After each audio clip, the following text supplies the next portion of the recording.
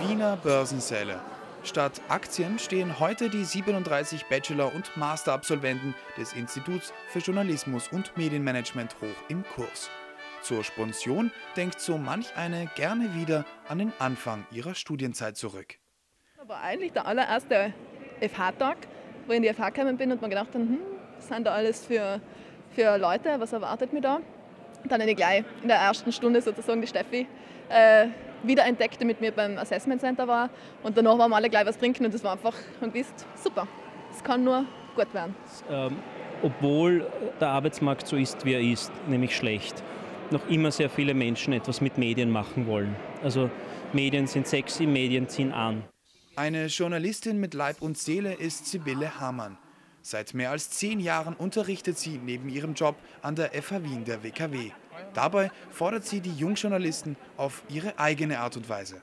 Ich schicke die Leute beinhart vom ersten Moment an hinaus. Und da ist immer dieser bange Moment, dass alle direkt wissen, was tue ich denn dort draußen überhaupt? Ja, kann ich einfach so wo anklopfen? Kann ich in ein Lokal reingehen? Kann ich mit Menschen reden? Wie geht das? Also die, die ganz banalen Grundregeln der Kommunikation, hat man das Gefühl, muss man erst einmal sich trauen, sie wieder anzuwenden, weil wir es einfach so gewöhnt sind, alles vor dem Computer und vor dem Bildschirm zu machen.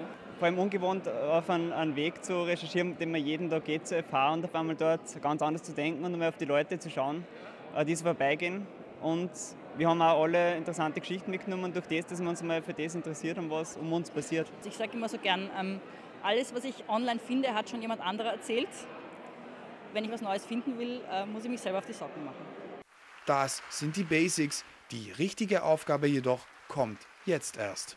Mich wundert das manchmal und es schreckt mich manchmal, wenn ich beobachte, wie wenig neue Information eigentlich drinsteckt in diesem ganzen Wust an Geschichten, die wir jeden Tag hören. Ja, irgendeine futzi kleine blöde Twitter-Meldung wird dann also dreimal durch den Fleischwolf gedreht und 150 Mal wiederholt und man fragt sich die ganze Zeit, Leute, gibt es nichts Wesentliches zu berichten da draußen aus der Welt? Ja? Die große Challenge, vor der wir stehen und vor der jetzt speziell die jungen Journalisten und Journalistinnen stehen, um das wirklich einmal neu anzugehen. Die richtigen Eigenschaften haben die FH-Abgänger dazu.